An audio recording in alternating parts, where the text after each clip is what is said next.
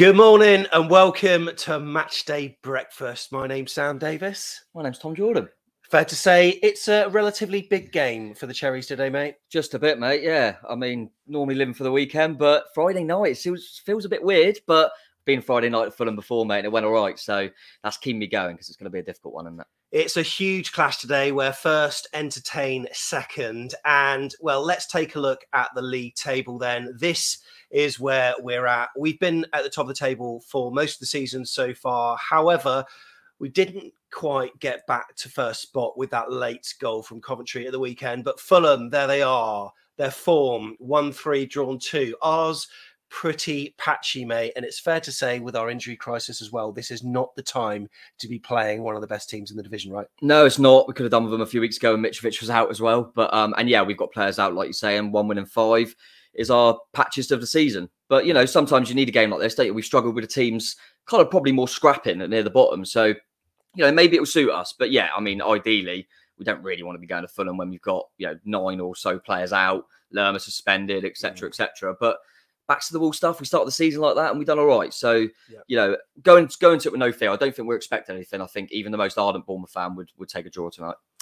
Yeah, so it feels like we're in a bit of a rut at the moment. Six days ago, in a game that looked like the Cherries would get their first three points since the last home win versus Swansea, uh, the game turned on one bit of action where a poor back pass meant that Jefferson Lerma he did take a heavy touch, but then took out the Coventry striker, which meant he saw red. And it's fair to say that Fulham fans are quite pleased at a lack of the Colombian in midfield today. So much so, we'll be speaking later to Sammy James from the excellent Fulhamish pod on his thoughts of all things tonight. I'll, I'll tell you what, it's going to be such a huge match, and also his prediction and the players to watch. Not not that we really need to ask him too much more about that.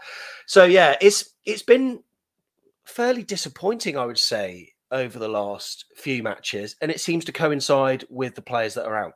Yeah, I think that's probably it, it takes it off a little bit because you think, well, we are missing some really key players. Um, I think the uh, originally, because obviously was just been out, but the loss of Lloyd Kelly, I don't think we realised how big that would be, mm. um, and his partnership with with Cahill. I don't necessarily think you know Meps, Meps, gets a lot of stick. I don't think he's coming and being awful. I just think you you miss Kelly's balance, you miss his is that extra bit of pace he's got to cover around and, and things like that. And him and Zemura, that little partnership on that left yeah. side of defence, I think we've we've really missed that. And you know, Leif Davis and Mepham have come in occasionally. They they've done okay, but the level seems to be not quite there, and just looked a bit dis- disjointed, hasn't it? Um, and yes, it's disappointing. While I think Derby, for example, we had that game in the bag. Coventry, we had it in the bag to the last kick. So it's it's small margins in it, fine margins, and we would have won both them games really. So it's not been disastrous. It's been a little bit of a blip. I think if we were honest about it, it was going to come at some point. The fact it's come when we've got a few bad injuries, it's, it kind of makes sense. Let's just hope we can go out there, go out there tonight, put in a decent show. They're going to be hard to beat, but if we can go there, maybe nick a point, and then get some players back and start kicking on again. And but this when you this when you see a good team, it's easy to to be to be good when you're winning games. But you know when you have a little bit of a rough patch, let's see who the characters are. Let's see mm. what they're about. So um yeah, yeah, never know. They're all the pressure on Fulham tonight. I mm. think that's what we got to take. They're all expecting a win tonight with the players we got out, and they're extra motivated with the Scott Parker factor. And I mentioned this briefly. Uh, we spoke earlier on today to Sammy James, as I said, um, from the excellent Fulhamish. Make sure you subscribe to them and listen to their pod. Absolutely super, uh, superb stuff. And Scott Parker, he left on pretty bad terms, really. And then the statement from the chairman, I think it was, as soon as he left, was very catty. I thought some of the remarks there were quite obtuse, really, but obviously very bitter at the way he left the club. And it seems that whenever we lose, there's a lot of Fulham fans coming on the AFCB hashtag to gloat somewhat. But whenever we win, they stay quiet. But they're extra motivated tonight to get one over their former manager. So much so I think it could be you know first v fourth tonight, and Scott Parker could be managing the side in fourth, and it and it wouldn't be as big. Yeah, because I honestly think that you know, when you're talking about ratios, like uh, you know, more of them uh, are sort of wanting to win, not because it's Bournemouth and they're in second, but because it's Scott Parker. Yeah, no, I agree. It does seem a weird one. We don't know the ins and outs, kind of what happened there, but you know, from an outsider's point of view, you thought when he come in and he, he managed to do the, you know, what what was asked of him and get promoted, and then you thought they'd be near the bottom and they didn't quite do it. Um, but yeah, there there seems to be a lot of talk about kind of negative football when they're, especially when they're up to the Premier League and stuff like that. Um, got to remember it was his first first time managing in the Premier League and stuff like that. So yeah, I mean at the moment we're pretty happy with what we're seeing, regardless of the blip. I think to be honest with you, the more I hear him speak and stuff like that, I, I really warm to him. I mean, it's going to take us a while to get over, you know, losing Eddie like we did, you know, the king. But listen, he's he's we, we're happy with what we see. There's there's obviously certain things there that Fulham didn't like, which is fine. It's all individual, and sometimes it ain't a fit and it didn't quite work. But like you say, there is that little little edge in there that they mm. think, oh, they want to get one over him. And Scott Parker probably is thinking, I'd love to go there and show them what we're about. Mm. And you, do you know what I mean? So yeah, it'll be a real interesting one. But yeah, I think this is one that they would have looked at at the start of the season, regardless of the, the league table. Mm. So, right, we're going to take a look at some of the comments of people that are here at the moment. We got Robert Thompson, Go Chesers, big one. Uh, Dan Shaw is just uh, telling us that he's getting his Middlesbrough away tickets. Well done to you. We got Daniel from Florida who's here as well. Chris Hubble, Aaron Kay's here. Mike Irwin, understand you were on the Talking Cherries chat last night. Good morning uh, to you, sir. We've also got Rob Wells as well. Hope those travelling have a great day. Good evening from Brisbane, Paul. How you doing, mate? Hope you're doing all right. John's here. Also, AFCB Germany. We got Mark Cole here as well. Bob Street's watching. Hi, Bob. Hope you're doing all right. We got Steve Hensman here. Looking forward to seeing your beautiful face later. Uh, worried for this one is one of the comments we've had in. We got Carol here. Wing. William Shakespeare's here watching from school. What are you doing? What are you doing? Chris Cook from Sydney, and we'll go through a few more comments. And if you want to take part on air as well, you can see the link just below Tom. It's afcbpodcast.com forward slash take part, and we will bring you on screen. So let's move forward. Morgan Scott's on the way, and he's going to talk to us about Parker's presser.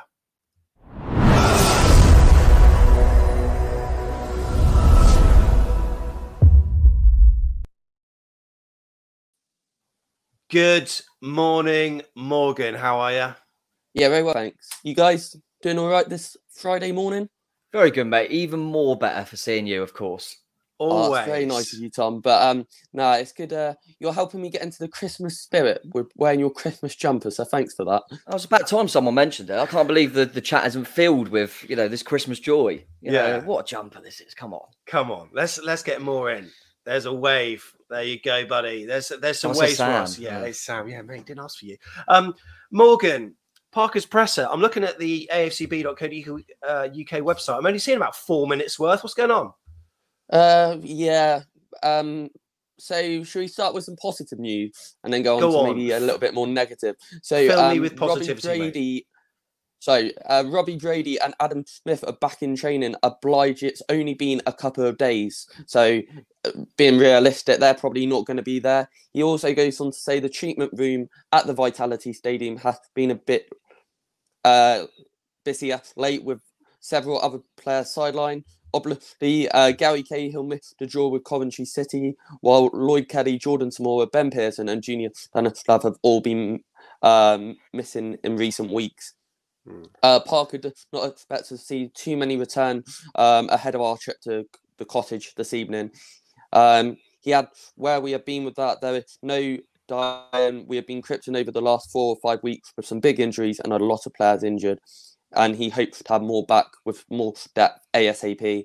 Um, but that's kind of what he had to say. It's not obviously the best news. Obviously, I'm sure Tom's going to be gutted. Obviously, we know Lerma out as well um, after that red card, and also he did get charged um, as well. And I think he's got to reply. Is it the third today? It is, isn't it? So yeah, he's got to reply to that. Yeah, he's got to reply to that charge by the end of today, I think. Um, and I think it could be another one or three match ban depending on mm. what he's what went on after um, that. So um, that could be another issue going into the end of the month as well. So that's kind of what he said at Parker's presser.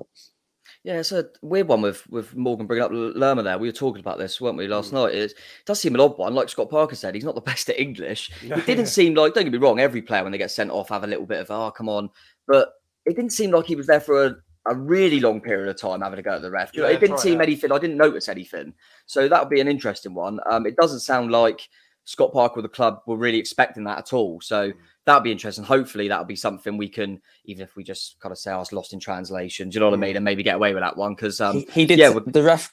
Uh, Parker did say, um, just to come in there, Tom. Um, mm. He um, maybe uh, the referee knew some Colombian, but he wasn't yeah. quite sure on that one.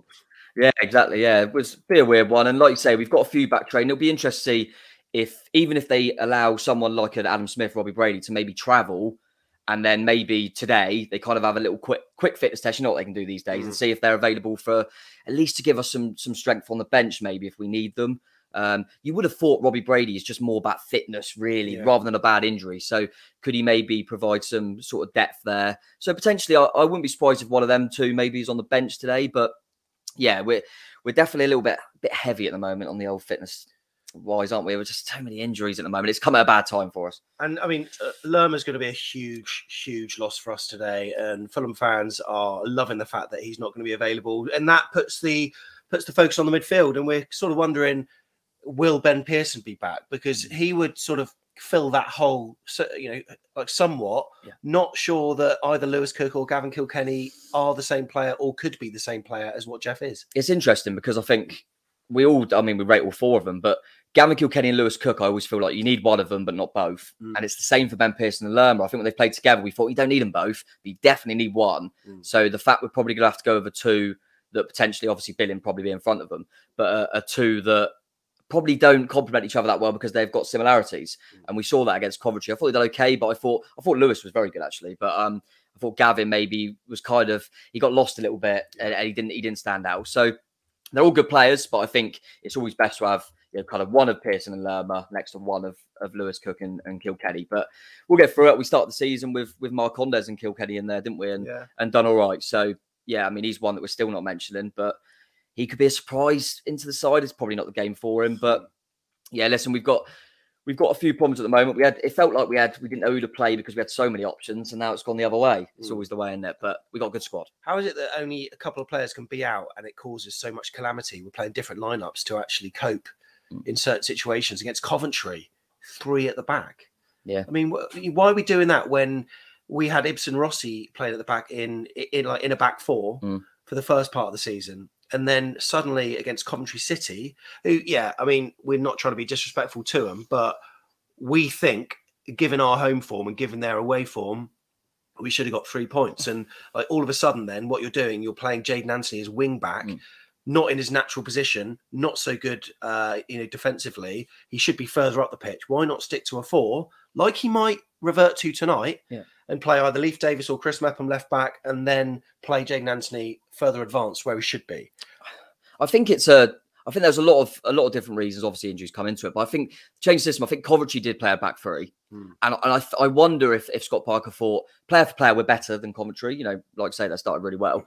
So if we match them up, we we could do all right here. We should be fine, and we and we were until the sending off. Probably to be fair. Um, so yeah, I, I wonder if we just went to match them up, and is there a little bit of do I trust Mepham and Cook? Mm. Maybe don't trust them um, as a pairing and wanted to put a little bit of solidity in there with with Jeff in there, who I thought was really good up until sending it off again. And I also think there's part of it that Leif Davis has been okay going forward, but there's definitely a defensive fragility there with yeah. with with Leif Davis. And um, yeah, I wonder if he was just he was trying something a little bit and thought this is a good time to start the back three because we're matching Coventry up a little bit. So yeah, but we'll, we'll find out a bit more tonight, won't we, on what he does? I mean, there's it's going to be really interesting to see what he does with the with the lineup and also the the formation and system. Mm, very interesting, Morgan. Uh, before you go, closing comments, maybe a prediction from you. Um, uh, I'm speechless. No, I'm. Um, uh, we have to. no, that's the first time for everything. Um, I think we have to go there um, and show some fight and determination. Um, I think you can win a football match if you do the basics right. Um, And I think we were alluding to it the other day, Sam, um, off air, that we were just saying that it's amazing how a few injuries, like you, Mm. Tom and Self were saying there as well. Um, maybe in January we do need the likes of Tom Laurent and maybe a backup for Dom Solanke because it's amazing how we have all this depth in our squad, and then suddenly we're scraping to make a bench full of what we call first team players. So I think um, tonight we're going to go there. I would take a draw, but I'm going to be positive because you're making the trip up. I'm sadly going to have to watch it on Sky, but um, we're going to go 2 0 to the Cherry because last time we won 3 0 on a Friday night. So Right, hopefully we'll win 2 0. Love it, Morgan. Thanks for coming on, mate. Really appreciate it. Legend. No way, safe travels and all that. And I'm sure we will see each other soon. Tom, enjoy your jumper up there. Thank you, mate. Love it. Top man, Morgan. We've got Chris Cook here. Um, we'll get your mug to you. Can you send an email to sam at afcbpodcast.com? Because I'm not sure we have your address. And then I'll send it to you. Okay, mate. So yeah, send it to sam at afcbpodcast.com. We've got Kirk here. Charlie's here. Right, Charlie, take a draw and run. She's saying, uh, Stefan's here. Good luck tonight. A pity about the injuries. Pete North is loving the jumper, Tom. And and I know that you talked about the hole in the wall. We may be able to sly in a quick half there, Pete, um, because we're going to. Um, I'm not sure how we're getting to uh, Putney Bridge, but there are a few options. Let's put it that way. Um, Steve Hensman, just popping around and. Do you want anything? Get us a scarf. Henson while you're there, mate. Get him a scarf. Oh look, here, here, here come the Here they come. Here they thought it was come. Here they come. It must have been some kind of delay. Right then, um, I think it's also time to uh, to talk about the opposition, hey, and to do that, and to talk about AFC Bournemouth, we're bringing in the one and only Aaron Kay.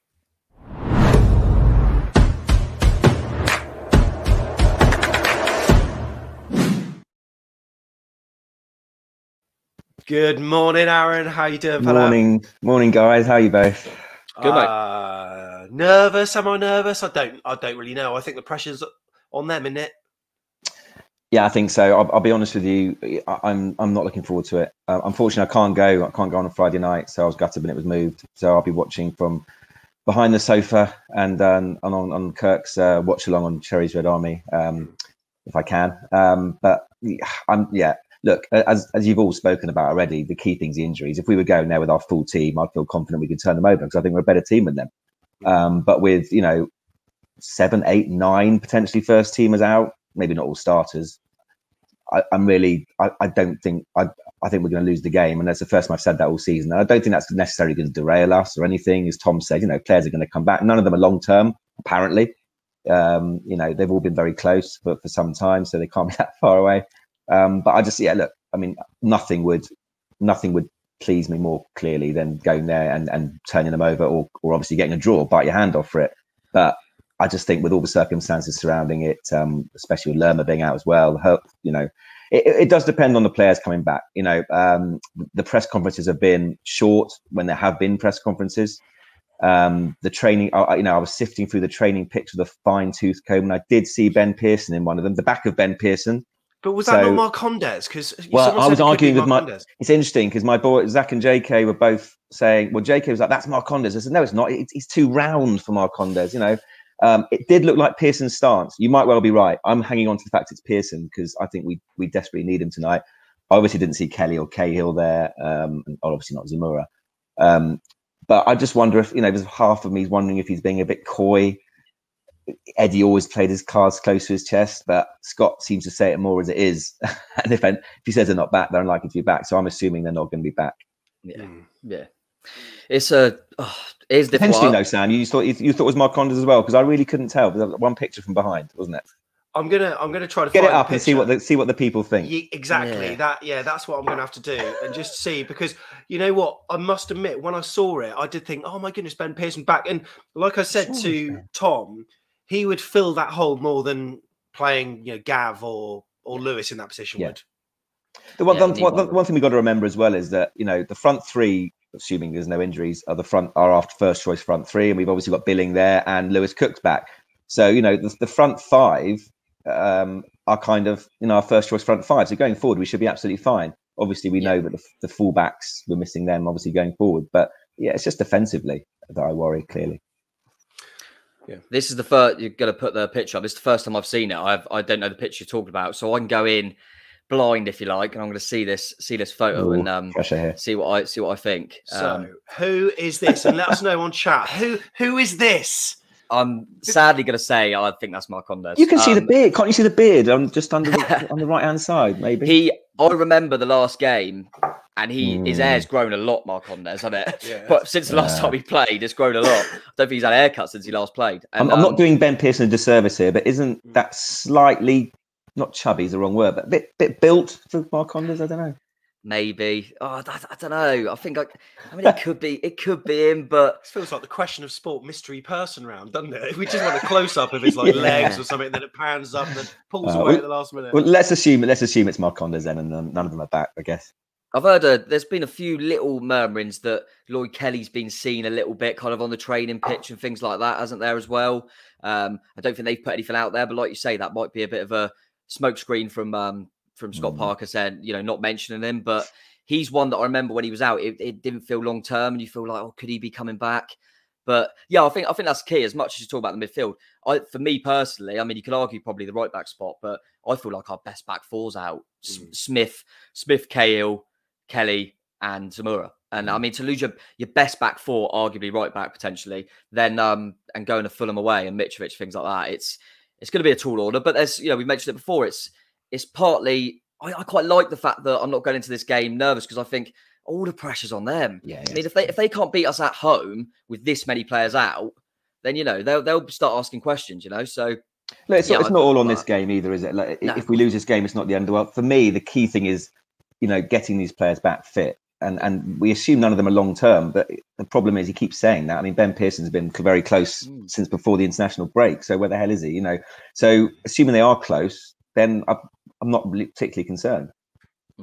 So we got to talk about the opposition then, Aaron. And is it a stupid question of me to ask which Fulham player you're most worried about?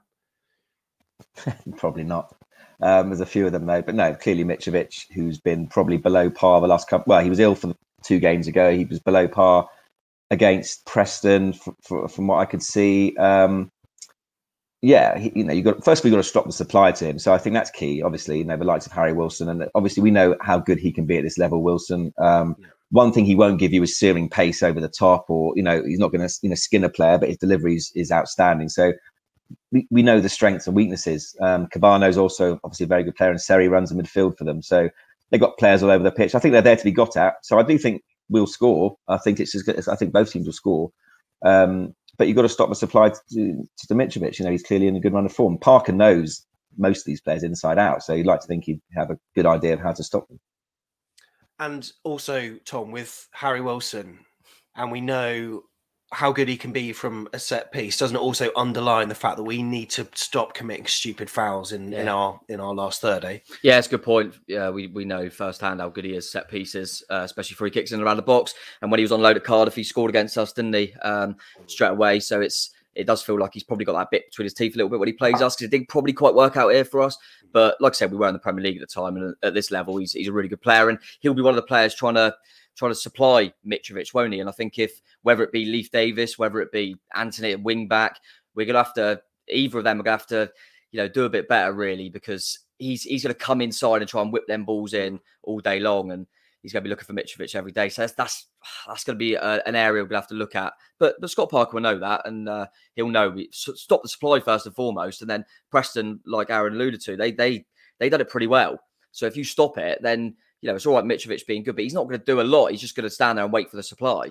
So if you stop it, you know at its cause, then you know we might be all right. But um, yeah, we've got to win them aerial duels against Mitrovic as well, of course. Yeah, absolutely. Go on then, Aaron. Um, try to try to somehow predict this this one tonight if you can. if if if none of those players are back, um, as Tom said, the whole first choice defense is out, and obviously our best defensive midfielder is out. Um, there and, and our second best defensive midfielder is potentially out. Um, yeah, it's looking good, isn't it? Um, I, I think I think we'll score because I think you know our, our, we're, always likely to score in games. We always look a threat. Um, I really don't want to predict a defeat because it's just I just I haven't done that for a long time. Um, so I'm gonna I'm gonna hang on to a, a two-two draw and hope that that we we somehow come away with a point. As as I've said before, you know, it's not like we're going to Liverpool or Man City or Chelsea or anything. You know, we're not yeah, yeah. we're not in the Premier League. We're, we're, it's still Fulham at the end of the day. That they, they got they're a very good Championship team, but so are we. Um, you know, and the likes of Steve Cook, now he's had a game behind him. You know, he's he, I'd like to think he'll be on Mitrovic rather than Mepham. Uh, and Meps has, you know, as Tom said, hasn't done anything necessarily wrong. Um, and we know that Stacey and, and Leif Davis, assuming they play, are, are perfectly capable. Um, so there's, you know, maybe we're all being a bit too too negative because of previous results. But one one thing Fulham will allow us to do is play. They're not going to. They, clearly won't be sitting back. So there will be spaces in between, and and it's up to us to to exploit it. So I'm going to go for a very optimistic two-two draw. But if we do lose, uh, you know, I'm not going to go. I felt sick after that Coventry game um, mm. because of the way it all worked out. I don't think I feel sick tonight because it, you know it, it is what it is. My only worry is that QPR are the team who are in form and they're, they're coming up behind us. And realistically, the gap could be four points um, after after this weekend. So it's, it's, getting a bit narrower. But and then we've got a difficult game next week. But yeah, two two draw. We'll come away with a point. Lovely. Aaron, thanks for coming on, mate. Really appreciate it. Safe trip, boys. Bring it home. Bring it home. Fingers crossed. Fingers crossed. And, look, um, we've got we've got to talk about this uh, managerial uh, list that we did uh, before Scott Parker was appointed, and we were looking at all the managers that. Uh, in fact, was this before? No, I can't even remember when we did this. Was this after Woodgate? Or no, this was while he was in uh, kind of temporary charge yeah, uh, Woodgate, okay. and we weren't sure if he was going to get it to the end of the season or not. And Marco Silva, you know, would have been one of the options, I think. And we didn't rate him. And at the top, we had like Slavisa Jokanovic and Nigel Pearson. And how wrong were we? Because he's he's he's doing a great job with Fulham. And you know, judging by the um, the sound of what Fulham fans are saying, that he's he's playing the football that they want to see. Whereas under Scott Parker, there were glimpses of it. However, and as we've seen this season, there's always the tendency to, even at 2 0 up, sit back rather than go the Eddie Howe gung ho, let's score three, let's score four, let's score five. Um, handbrake on mentality. Yeah, he's probably a bit more pragmatic in the Scott Parker, which I think we've probably we've never really had that much of that as Bournemouth. Obviously, we had Eddie for so long, who was very much the other way. So I'm almost quite enjoying seeing us being a little bit more. You know, we're, we're hard to beat, which I quite like. Mm. And then you know, look, and I think tonight, uh, you know, Aaron kind of mentioned it there. I think they'll they'll kind of let us play, and I think it could suit us in the sense of, you know, we've struggled, like I keep mentioning, against kind of the teams that maybe do sit back and make it really difficult and horrible. I think if Fulham play, I, I kind of, even though they've got they've got a lot of quality. I, I kind of trust us to be quite organised mm. and and then counter. And um, yeah, we've got a bit of pace on the counter attack, and we have still got our front options available. It's more, you know, the other end where we're struggling for numbers. So yeah, I Marco Silva. Listen, I, I think it was more that I think he's done he done really well at Olympiacos. I think it was in Greece. Well, I could win the league with them. Um, you know, there's there's not much competition over there. And then he went to Hull, and when they were going down, and they went down. Went to Watford, didn't do much. Went to Everton, didn't do much. So I think that's what it was really. And I think it remains to be seen. I think at the moment, I think they were probably Fulham fans quite happy with Scott Parker at this point in the championship. You know, he took them up. So it'll be interesting if they do go up, which I expect them to do, how he then does. And then you'll see what sort of manager he is because the squad, they, they've got to be up there, haven't they, with that mm. squad. But equally, I think Sheffield United should be up there. So, you know, he's still doing a doing a decent job there. But um, yeah, remains to be seen. But they're certainly liking what they see at the moment, aren't they, with him? So yeah, maybe we are wrong with that one. Maybe he is a he is a good manager. But um, yeah, remains to be seen. I still think. I think it's a good time to uh, have a quick, quick chat to James Reed, who's with us. He's been standing by. He's got, he's got his AFC Bournemouth background. Yeah. Well. James, how you doing, buddy? Yeah. Good to see you, mate. How are you feeling about the game tonight? Are Bournemouth going to win? Yeah, we are. How does it? Look, we've got Marky Masters who comes on and does these amazing graphics on screen. We don't know how to do it. James Reed here has got this this green screen background, mate. We, we, don't know how to do this. I'm loving it. It's, it's already got me a bit more positive vibes. I, I, fancy it already now. Just seeing James, I think, you know what, we're going to bring it home. James, um, you need to send me a link of how on earth you do these backgrounds because I don't know how to do it. Um, right, what's your scoreline prediction for tonight then, James? What's we it? need two one to Bournemouth. Superb. So that means by default we're going to be top of the league at the end of it. James, yeah. if we win two one, happy happy days. Do you know who's going to be scoring tonight? Yeah. Uh, oh, he's putting it in on chat now. It's because like you always think that Chris Mepham's going to score, and also Dom Solanke as well. Brilliant stuff. And look, he's also told us how to do the background. James, thanks for coming on. Up the cherries, fella. Up the cherries. Also, Daniel from Florida's here, here as well. Morning, mate. And it is morning, isn't it, where you are? My God. Hello. What time is it? Six thirty. Mate, and we've, Love it. we've made you wait for half an hour, mate. I'm so sorry. I could have gone back to bed. Um, how are you doing, mate? Are you are you looking forward to the game? Um, uh, it's I'm kind of am, but I'm also not because I'm telling you right now, if we lose, I can already see all the Fulham fans just oh Yeah, you look like how I feel, mate. Just it's, it's like looking forward to the game, but also there's just that. I think I think we're probably a little bit overly worried, but we think, oh god, they could get three and four. They hmm. could really because they're they're top side. But I don't know. Do, do you think we can can we nick something tonight, Daniel? What do you reckon? Do you reckon we can nick something tonight? This also gives me a lot of like when we played Watford, no one Mm. ever thought we were gonna win, but we ended up winning it and drawing it. So I Yeah. feel like we could do something, but it's just the players that we're missing that I'm worried about that Mm. that the players might struggle against because most of these players don't play with the player, players that we're playing we'll probably be playing today. Yeah, true. That's a good point, though, isn't it? When last season we uh, Watford and Norwich obviously went up as a top two quite comfortably. Yeah. We didn't lose to either of them, did we? We actually No. had the double on Norwich. True, yeah. So you know, yeah, I agree with what Daniel's saying there. You you know, it's and Aaron was saying it as well. You know, we're not going to Liverpool, we're not playing Man Mm. City. You know, Fulham are a good side, but but we're a good side as well. And I know we've got players out, and I think that's probably why we're kind of being a bit more fearful. But I don't know. I still think we could nick something. We I've had some great nights in Fulham. Mhm. I just feel like there's something there, something there.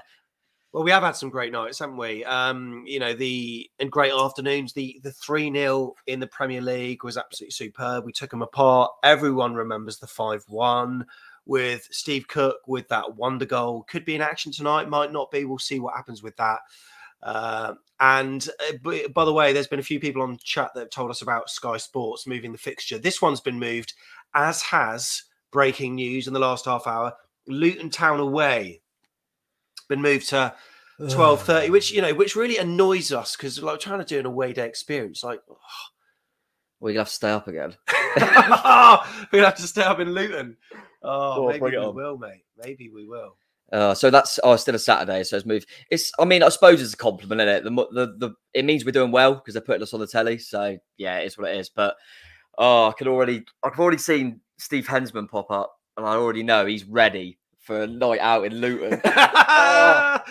Daniel, thanks very much for coming Cheers, on today, Dan. Ray. Really appreciate it. Bye. Bye bye. And yeah, here he is then. Let's bring him on. Good morning. Morning. How are you? You all right? Yeah, not too bad. Can you hear me all right? I haven't got my headphones or anything. Hey, mate, you don't need headphones with us. It's absolutely fine. All good, mate. Um, Loving Yeah, that jump. night out. Thank you, mate. night out in Luton then, Steve? Night out in Luton. It's been moved to twelve thirty. oh, oh god! Oh, I'll tell you what. on? These away days are like, oh, I need a permanent cash machine for away days. how you boys doing? You all right? Yeah, good. Yeah, good. How you how you feeling about about tonight, mate? Are you think we can nick something, or are you a bit? Everyone's a bit nervy. I- I'm very nervy. I've Yeah. been, I've been sort of, I've had my spirits lifted a little bit, listening, like reading the chat and listening to what the others have said. But I, um, you know me, I'm a bit more uh, pragmatic about it. I think we'd do well to get out of there with a draw tonight. I really do, with the injuries we've got, and I don't know if Scott's going to tinker around as he's done in the previous games. But yeah, get out there with a draw tonight. I'll be more than happy. More than happy. definitely, definitely, mate. Well, What do you think? I mean, we're going to be talking about the uh, predicted team a bit later on, mate. But you know, we went three at the back against Coventry City. Do you think we should be doing the same tonight, or do you think it should be back to a flat back four? Uh, no, personally, I don't like the I don't like the three at the back. I never have done. Um, I don't. Yeah, like you, I think there's plenty, plenty, of other people that would agree with that. That we've never done well with it. Really, um, it didn't. Kind of don't understand what we were messing around with with Coventry. You know, towards the end, it just doesn't doesn't seem to fit us very well. But I, I so I'd like to see him stick to his guns and stick to the formation we've been playing. Um, the players seem to know it, um, and if we can just get some of those those squad players in tonight and they put a performance in, we can we can nick it as much as we can, you know, Yeah. you know, as they can they can turn us over. You know, it's not it's it's one of those go over go either way tonight, I think. But um I just think they they're just stronger slightly all over the pitch. They're not suffering with injuries like we are, and that's what that's why I'm a bit cautious about it. Do you, do you think there's a danger, Tom, of Scott Parker looking back at that Coventry game and thinking, well, for 60, 65 minutes, it worked really well with three at the back. We we scored before half time, we scored half time, half time, 2 0 up. I had to change the formation and the personnel based on that Jefferson Lerma sending off. Do you think he might be thinking, oh, I could I could do this again, you know, uh, versus a team that are very potent in terms of attacking force. I think the issue is that obviously you put Lerm back there who's not available. So that would mean if he played three centre halves, you'd have to bring Ibsen Rossi in. Mm. But if mm. KO and Kelly are out, and he came on and had a bit of a clanger, didn't he? Him and Leif yeah. Davis, I thought were didn't didn't didn't have good substitute appearances. So that might put him off a little bit. Having said that, Ibsen Rossi has got height, and they're not going to. Mitrovic ain't going to try and get in behind, is he? They're going to try and put balls in the box, maybe, but I, I, agree with I agree with Steve. I probably I'd rather us just go. Let's not overcomplicate it. Let's just go with a four. I think on I think Coventry they they came on a bit cold, didn't they, into the heat of the battle? Yeah. And I don't they got up to speed as quickly, and, that, and they looked a bit ropey. Um, but I think if you play, if you were to play him from the off, as we've seen from Ibsen Rossi at the beginning of the season, he could do a job there. Mm. Um, all depends on what we've got available, doesn't it? It's all Scott's keeping everything close to his chest, and we're not yeah. too sure exactly where everyone is fitness wise. So we might see a couple of little surprises. We we know we, we thought well, people might be out and they might be might turn up and play, but you know, oh, I'm excited anyway. Yeah, all right, get moving. We're going to. Get moving, I've, yeah. I've got to pop off, mate. I've got to catch a train, apparently. Yeah, yeah. yeah. yeah. We will see you, see you on that train, sir. Catch you later, buddy. All right, good to see you, chaps. Bye. You too. Catch you later on. Ease off. And Kirk, Toby is here with us. Hello, fella. You all right? How you doing, guys? You all right? Yeah, good, mate. Very good, very good. Chatting to you briefly yesterday about what we were just talking about, um, formation wise, and if you pay if you're playing three at the back, it means you've got to choose between Leif Davis and Jaidon Anthony. Um, uh, you, w- w- what would you be doing? Would your preference be to be playing a four tonight? Yeah, I don't like back three. Uh, didn't know why we went for it for Coventry. I wasn't at the game, but um, you know, people I've spoken to said we did well for 60 minutes, but I just felt that it's always going to cause us problems. It does mean that we're going to have to pick and choose certain players, then potentially you've got players that can be effective going forward, being played in a negative position, like Jaidon Anthony will be asked to do more stuff going backwards. Um, I don't like it. I think we need to just play a back four. I'd hope to think we can get some of our, or at least one defender back in tonight, but that's maybe me being optimistic. But yeah, I um, I think if we play a back three and it doesn't go to plan, we're sort of in the mud then, aren't we? And then it's mm. sort of trying to recuperate the situation and and it could all go wrong so let's go with back four tonight and let's see what we can do yeah, I'd, I'd agree. I'd, I, there's part of me, I, I said earlier, I'm hoping that even though whether you agree with it or not, I'm hoping that Scott went for that free because he tried to match Coventry up because they went with a free and thought if we match them up, we should have too much. That's that's my hope. Um, but yeah, I agree, especially with the Jaidon Anthony thing. I think you lose so much for him. I know he puts that graft in, but you want him to do what he's good at. Do you know what I mean? Um, so yeah, I, would like to think we will go to go to about four tonight. My my concern is does he trust Mepham and K, uh, Cook, sorry, as a two as well? But like like Kirk said, we might have a few surprises, mightn't we? Yeah, Kale could uh, Kelly, sorry, probably not Kale. Kelly could just be back yeah. out of nowhere. But yeah, I'd like to see us go over four, and then if they're too good for us on the night, they're too good for us on the night. But it's not overcomplicated and start changing the system and putting square pegs in round holes. Uh, yeah, I'm with Kirk. I didn't expect Kirk to come on and start lauding a back back three, to be honest. No, uh, it's interesting because I'm hoping that Scott Parker's playing his mind games and tactics already, keeping it close to his chest. And um, Christmas trees up. Yeah, we got that up. Uh, so um, I'm hoping we've got Kelly back tonight. I think mm. that Cahill's been fantastic this season, but I don't think it's a coincidence that he struggled since the legs that he had alongside him have not been there. And and I definitely think we saw that with with Millwall, with Mepham and and Cahill, and and then it's Mepham and Cook. No, neither of them, or three of them, neither of them have got pace, have they really? Mm. So I think we need legs in there today, and I think I'd hope to think they've been trying to get Kelly up to fitness for this game. And I think yeah. if we've got Kelly in there and Cook, Kelly and Mepham, I prefer Kelly and Cook. Um, but I think we definitely need Kelly if we can get him on the pitch. Yeah, I agree with that because I, I, think what kind of what Kirk's saying there. I think Cahill's our best defender, mm. but which one would I least want to be without? Is Lloyd Kelly mm. because, like you say, he offers a little bit different to all the other centre halves in terms of that legs. I've I've mentioned enough times that I think it's no coincidence how good Zemura has been because I think you know Kelly with his cover and with his pace, it allows Jay Z to bomb on and things like that. And I probably wouldn't mind Anthony as say a wing back as much if mm. Kelly was left centre back. All them, yeah. I think Kelly one of them players you don't realise how good he is till he's till he's out. And like Kirk said, Cahill didn't look the same player for them few games without him. So yeah, be that would be a, the dream tonight. I think if Kelly can just somehow be fit, yeah. and then we only lose Lerma for a game, and then suddenly we're looking strong again. So hopefully Kelly's fit, mate. It's, it's not only his his uh, defensive capabilities as well; it's his ability to get forward, but also his his long balls. Yeah. Where Dom Solanke's always looking for that run, and in many a match I've seen Dom Solanke peel off the back yeah. of the defender, and Lloyd Kelly's found him with a pass that then yeah. stretches the play and completely opens it up. And you know Dom's more than competent at holding it up. And you know what? That's something that Steve Cook used to do. Um, didn't really do it the weekend. Chris Mepham's not so adept at it, so he always gives us that, you know, that other option. So maybe that is the rabbit out of the hat. I mean, if you did have one rabbit out of the hat to pull, mate, just one, would it be Kelly? Would it be Pearson? Would it be Zemura? I mean, you know, Zemura is unlikely, but out of those two, what you know, what would you rather see? Well, I prefer if you gave me two, but true to form, Sam, you're giving me one. Um, yeah, of course. It's, it's, it's Kelly. I mean, it's Kelly. Yeah. I, I, want some legs in there tonight. I want some pace in our back four, hopefully. And, um, you know, he's been a leader as well, but he definitely is the one centre back. If I had to pick him between him and Cahill, it, it's Kelly. And, yeah, I want to hold a midfielder as well, but um, you're probably not going to give me that. So, uh, Kelly, the other concern I have is if it is one rabbit out of a hat, then it's potentially Lewis Cook, Kilkenny, and Billing. And then my other concern is that we've got two midfielders in there that pretty much have identical games and, and how that unsettles the balance because I think Kilkenny and Lewis Cook are great in, mm. in what they do, getting on the ball, turning over diagonals, getting us in attack. But they're both the same, like Tom said. And um, I don't know what that does to the balance in that midfield. So um, it'd be interesting um, like everyone else. You know, we just got to front it up tonight, compete. Yeah. Scott Parker's not going to be able to play his best hand, but we just maybe Hart tonight gets yeah. us something.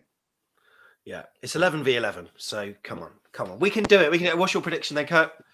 How does Marky Masters do it anyway? I'm trying to work it he, out. He just he just shakes his camera. He just shakes his camera. So go on then. Go on, give it a go. Go do a Marky like Masters. This, so yeah, that's it. Dom Solanke scores in the first half. Uh, Scott Parker tries to hold on. He throws on Ibsen Rossi. Yeah, it's 1 1. nice one. Kirk, cheers, mate. See you later. Legend, mate. Oh, the cherries. Oh, love it. Make sure you join him later on on his channel to uh, for the watch along. Um, right, we're here to talk about Fulham. In a short while, I'm going to be posting a link in the live chat to Fulhamish, which is an excellent pod and YouTube channel do very similar things to us in terms of you know getting a community together and talking all things Fulham. Make sure you do one thing today, and that's click the link in a new tab and subscribed. But earlier we spoke to Sammy James from the Fulhamish pod, and uh, yeah, he's uh, very much looking forward to tonight's game.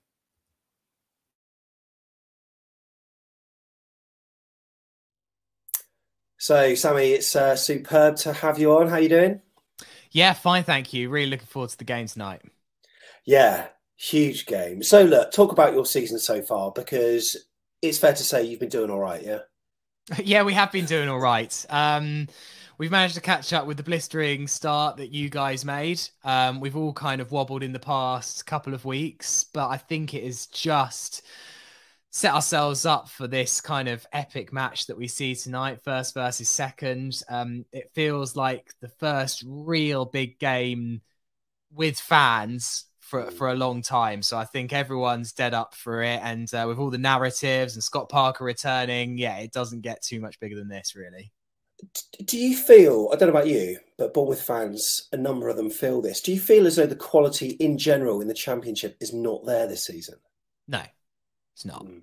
It's just, it's, it's, I think it's a side effect of everything that's happened with the pandemic is that this league was already kind of running on the edge of a bit of a shoestring. And it's it's just become a real league of haves and have nots. Look, I'm not going to complain because it's put us in the position that we're in, and it's been a really fun year to watch Fulham kind of take apart different teams. But when you beat the team that's in well, where are Blackburn? Fourth or fifth? We beat them 7 0. Yeah. Like, that's when you start thinking, uh, something's not quite right here. You tend to maybe beat the team at the bottom of the league by that kind of scoreline, but to beat the team in the playoffs, and I think we beat Stoke 3 0, we've beaten QPR 4 1, all of them are either in or around the playoffs. The only team that we've fallen foul against is Coventry, which obviously you guys have found the hard way out about with them as well. Yeah. So, from reading what a lot of Fulham fans are saying on social media, especially over Twitter, a lot of them loving Marco Silva this season more so than when Parker got you up. Why is that? What's the difference between the two? Well, there's definitely uh, a contrast of styles. Um, Parker, uh, certainly in his time at Fulham, I can't fully speak to what he's doing with you guys, was a man that wanted to win a little bit by contrition. It was, lot, it was a lot of keeping the ball for the sake of keeping the ball. Quite often we would get ourselves into a one goal lead and we would not hang on, but Parker would then put tactics in place, kind of Italia, old Italian football style, to see out the 1 0 win. Um, often he'd load up the defense. It was often very, very effective. And in the Premier League, he came up with a style of football as well that, whilst it did okay, it was quite solid defensively. It wasn't very exciting to watch. Um, mm. And yeah, Marcus Silva is definitely not in that school of thought. His his school of thought is, well, no, why, why win a game by one 0 when we could win it by three or four? He wants to keep on attacking till the very end. You know, not at the detriment to the team. There's occasions where he's played it safe, but most of the time he's quite keen on, you know, getting big score lines um, as opposed to the style that, that Parker implemented.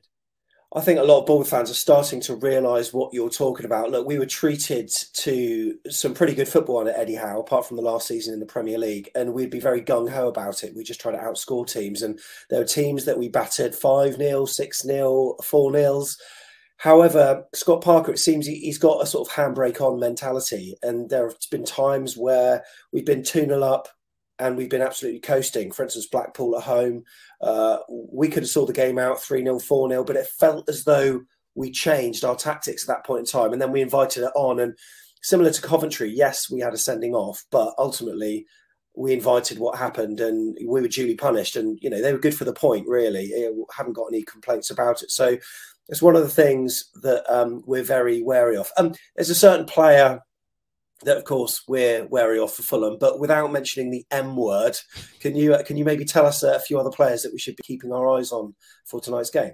Yeah, sure. Um, I would say that Jean Michael Seri is the man that makes everything tick in the middle. Um, what a strange Fulham career he's had. He arrived when we got promoted the first time, uh, the African Xavi, he was called, and he was very, very good for us for about five games and then kind of dropped away. Has then done a series of loans in France and Turkey for the past two or three years. Parker didn't seem that keen on him. And then he's come back to Fulham this year and he is so good. His passing range is ridiculous ridiculous. If you give him time in the middle, then he will punish you. He doesn't really like a lot of pressure, but that will be why he's massively pleased that Jefferson Lerma's not around tonight because um, he might have made Seri's life a bit miserable. But without Lerma, I think that Seri will have that space um, to probe, um, to kind of play the game at his tempo. So yeah, he's a massively key player, and also Fabio Carvalho. Um, he's our young starlet who knows if he's going to be here next season because he's touted by some of the very, very best. But he should be playing tonight, and he's got goals in him. He's creative, he's tenacious, um, and he's a fantastic little number 10. But even though you think he's a little number 10, you hmm. think he hasn't got any strength or um, kind of ability to hold off big championship uh, midfielders, he seems to have a lot of that from his low center of gravity to be able to, to hold them off. So, yeah, he's a wonderful player as well. Looking forward to seeing that. Okay, so so percentage wise, if you're going to put it as a 50 50 split or 60 40, is this match big for you? Because one, of course, it's AFC Bournemouth, or is it two, because it's Scott Parker? It's obviously big because of where you guys are in the table. Like, I'm obviously, I don't think there's anything because it's Bournemouth per se, and there's any kind of rivalry. We haven't played each other an awful no. lot over the years. We've kind of avoided each other. Um, the Parker factor is massive. The Parker yeah, factor yeah. is just huge. The way he left us, um, was not great. I don't think many Fulham fans were very happy about the way he kind of felt. They felt like he played Fulham off to try and get his move. I think a lot Yeah. of Fulham fans were either like, go or stay, stop Yeah. messing around and, and, and wrecking our preparations for the next season. And the way he treated Mitrovic in the in the Premier Mm, League yeah. and the way that he didn't use him. And now Mitrovic is on a massive point to prove that he is the striker that could have kept Fulham up and in the Premier League last season. So the Parker factor is massive. The fact that it's first v second just makes it even more spicy. I think it's the combination of the two that uh, has made Fulham fans really, really want to win this one. Yeah. So if you get three points later on, do, do you feel as though effectively you've got one hand on the trophy, or is that a bit too premature? Bit premature. I think it's ma- I think it's important though. You look at your fixtures coming up. I think you've got Blackburn and Yeah. Middlesbrough after this, which is Yeah. two difficult games. Yeah. Uh, our, our- actually, Christmas isn't the easiest either. Um, but I think a four point gap going into difficult games for you and slightly simpler games for us would be a huge psychological barrier. But there's still a lot of football to be played. I'd be very confident of our. Mm. Do you know what? I think maybe I would be more confident if we won tonight of chances of top two first. Like, Yeah. and does Yeah, it okay, matter yeah. really? Ultimately, both of us want to get promoted. Champions would be mm. amazing, but we both want top two. I think if I think whoever wins may have one hand on the top two, but not on getting above Bournemouth because four points is nothing really. Yeah, I think most Bournemouth fans are the same train of thought. We're we're looking to keep clear of third, and you know whatever happens between us two, we're we're not so concerned. Um, so Sammy, prediction wise for tonight, then, I, go on. Then what are you going for? I would be lying if I said I wasn't confident. To be honest, I, I am. I'm confident that Fulham are the best team on paper in this division. And looking at your injuries, and I'd be interested to know if there is any intel as to whether Cahill, Kelly um, are back. Obviously, we know that Lerma's out, and that feels massive. As soon as we all saw that come through last weekend, we were very, very pleased. Not Yeah. just the result that happened in the end. If it had been 2 0 to Bournemouth, but you'd have had Lerma suspended, we'd have still been quite pleased with that Yeah. outcome given all that, I think that it plays into Fulham's hands quite nicely. So I'm going to go for 3 1. Three one. Interesting stuff. And uh, for people who don't know, I'm sure they do because you are the number one Fulham Pod and YouTube channel. Can you tell people a little bit about it? Yeah, yeah, we've been going for uh, four or five years now. Um, we have a podcast, YouTube channel, a blog, everything Fulham. Uh, from we, we try and get to as many games as we can and just uh, give our honest experiences of the matches, much like you do and the terrific work that you guys do on on this channel. We just try and be a hub and, and a safe space for, for Fulham fans to hang out, meet each other, and communicate. So um, yeah, and uh, and everyone is particularly buzzing uh, for for tonight. I can uh, I can definitely tell you that. Superb. Well, Sammy, thanks for coming on. Really appreciate it, mate. No worries.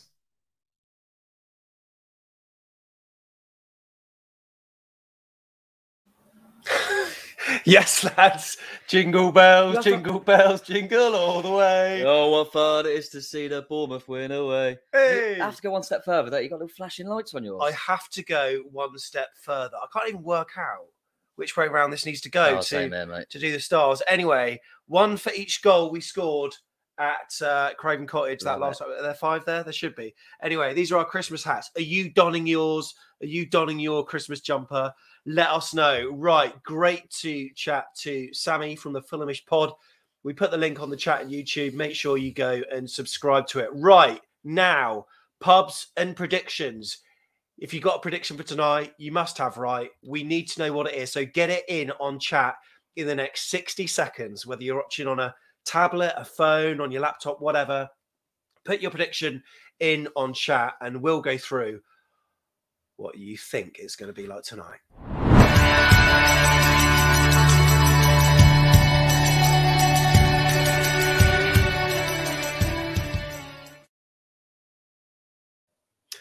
But firstly, pubs wise, I hear there's a pub that um, is going to be very popular tonight. Shall we say the name?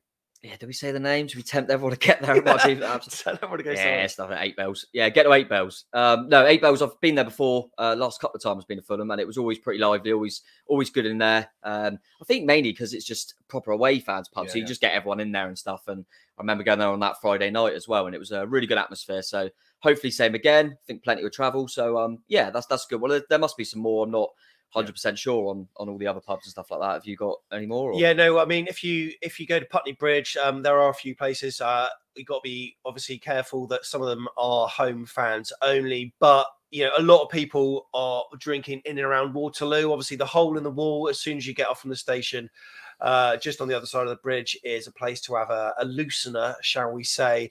And then, yeah, tube it or train it to Putney, and just be um just be wary. There are some issues with the with the trains this weekend. I think later on, so when you're getting back, so just maybe check the TFL website and also um, South Western Railway to make sure you get there. There's the option of getting the Uber boat the Thames Clipper from Embankment or Blackfriars all the way to Putney. Have a few beers on there as well. Nice. And remember, face mask. Oh yeah. Wear your face mask. Otherwise, you can get a substantial fine.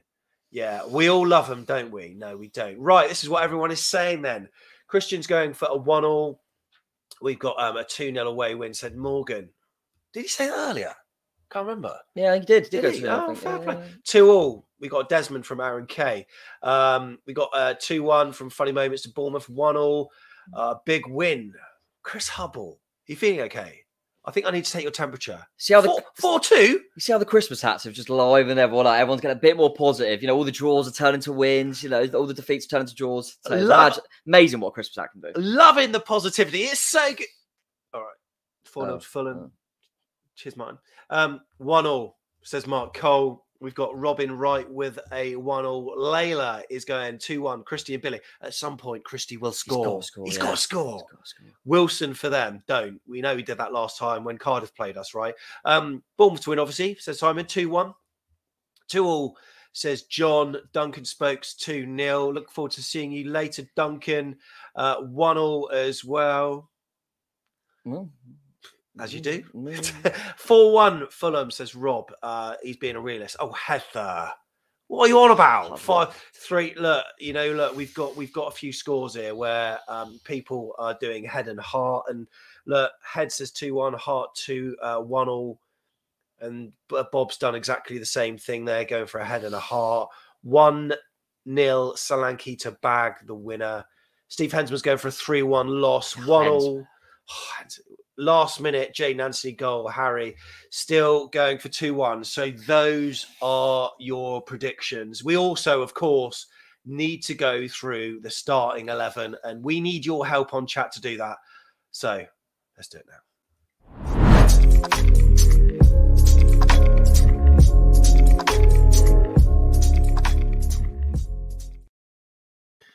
Here we are then. Here we are. And on chat, we uh, need you to tell us which players. Uh, there are certain. Pl- in fact, should we just tell them to go for the whole of the back four or not? I mean, look, let's let's assume we are going for a back four. Is that what we're going to assume? Yeah, I mean, yeah, there's obviously that that thing in the back of your head thinks, would he go for a three slash five? But I like to think we tried it. Let's move on now. Let's go back to the four. We haven't really got the options. I mean, we we've got to go with this, assuming Kelly's out, Pearson's out. I think obviously there'll be certain people saying, you know, maybe we'll have a surprise, but let's go off what we think is available Yeah. because there might be a few surprises, which would be great. But going off what we think's available, I think the back four. Um, I might start with Travers and goal as well, mate. Travers in goal. Hmm. Okay, let's add Mark Travers in. And look, sometimes I think uh, when you've got your own opinions, you can get tied up too tight in wondering whether it's going to be a back five, whether it's going to be a back four. But Jacob Tanswell has per probably going to be a 4 3 3. There are other media outlets saying the same. Some people like Tanswell are also alluding to the fact that we may see Kelly coming back in and maybe Mepham on the left side, which Mm. is uh well, you know, we've seen that already and it didn't really work. Uh, You know, I'd probably prefer Leif Davis there to be fair, but I don't know. I could say if Kelly were to be back, obviously we're going to assume he's not. If he were, then I could see that. I could, I could see him, whether you agree or not, I could see him putting Mep at left back and going, Meps, you ain't going past the halfway line. You stop Harry Wilson. You stop the supply Hmm. um, at left back and have Cook and, and KO as a, as a, a Cook and Kelly as a pairing. Um, but yeah, I hope Kelly's back. But going with the fact that he's not, then it's going to have to be a pairing of Mepham and Steve Cook. Yeah. I mean, he, apparently Kelly's been seen uh and it looks as like he, he he's kind of he's preparing like he would play but Yeah. So Steve Cook on the left. This is you know this is assuming. Assuming Kelly's out. Yeah, assuming Kelly's out. Obviously, if he's in, he would be in. Um, yeah, and then it's going to have to be Stacey at right back. Smith's another one we haven't spoke about enough, but he is back in training, and I don't expect Stacey to come out, but he's an option that we're struggling on that left side.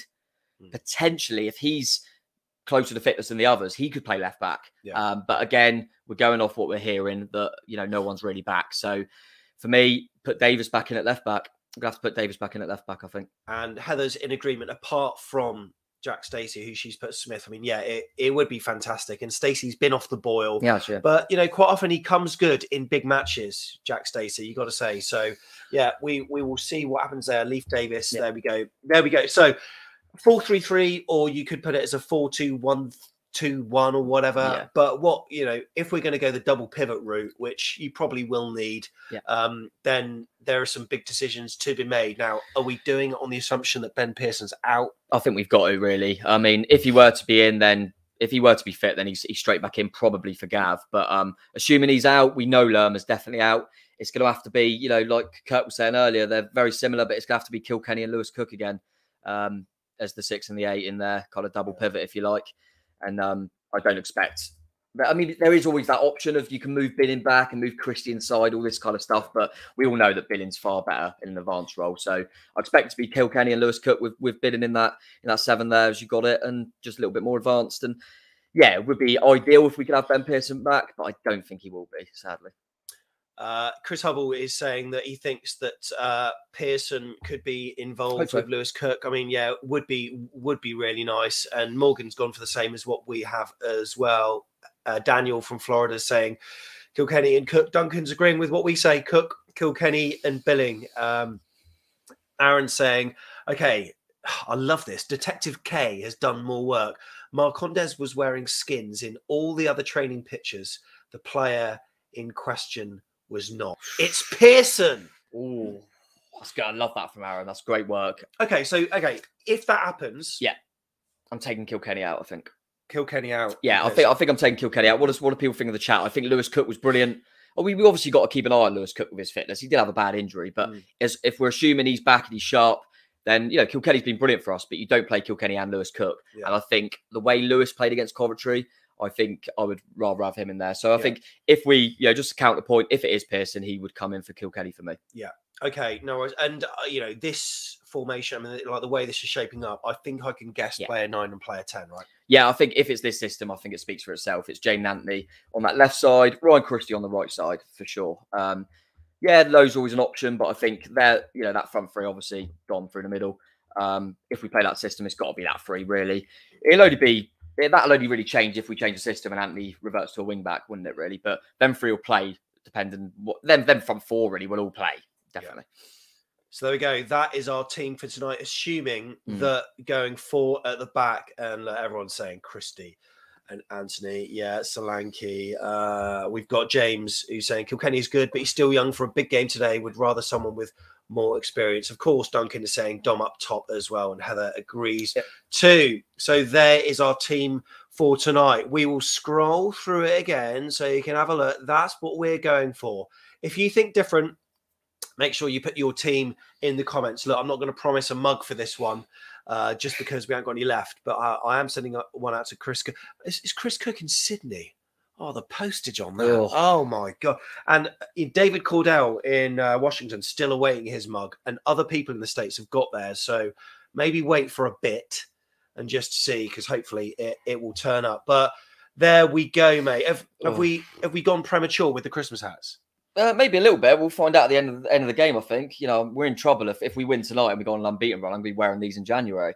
Um, but no, listen, we've we spoke about enough. It's going to be a, a proper sweat tonight. It's going to be a really really difficult game. Um, but let's let's enjoy it. Let's let's let's go into it. The fact that we're not expecting anything. All the pressure's on Fulham. We might get a few nice surprises with players back. I mean, we haven't even mentioned someone like a Stanislas or you know we, we might get a few a few more few more back. But um, yeah, it's going to be a, it's going to be a really difficult game. But Oh, I, I love an away day. Friday night. It's like a drug, isn't it? An away day on a Friday night in London. I can't wait, mate. So bring it on. And yeah, quite quietly confident now. I don't know why I've got quietly confident now. I was saying we're never going to win this. Now I'm thinking we can nick this, you know. Hang on. I've just, something's just occurred to me, mate. Thr- throughout this show for the last what is it, hour and a bit. Mm. I'm sure that you've been shoehorning in. Don't what So- about. Come on, know what you're talking about. I may have shoehorned in a certain band's few few of their song titles during the show. Maybe for eagle-eyed, eagle listeners might have uh, picked up on. We'll see. We'll find out. I wonder if anyone has. watch back throughout the show and tell us on Twitter if you know the band whose song titles you've been you've been actually thinking about it. You've been littering them throughout the show. I. I just thought at the end there, you, sh- you like you got one in, Yeah. and now I'm just going back thinking, hang on, you've been doing this one. Very- oh, I very like it. I very like it. Yeah. Name the band. What band have we? You're gonna have to watch back now. And if you like this video, make sure you give it a thumbs up. We're getting the 259 train from Bournemouth. We'll be outside Craven Cottage with some fan chats come rain, shine, win or loss. We'll be looking forward to getting your view. Tom, it's been an absolute pleasure today to have you on. Really appreciate it. Really enjoyed it, mate. Yeah, it's uh, been a really, really nice show. So really enjoyed it. Can you do some brekkie now? Or Yeah, let's do some ba- bacon sandwiches Oh, yeah. on the way. Other cherries, and we'll see you at Craven Cottage. come on.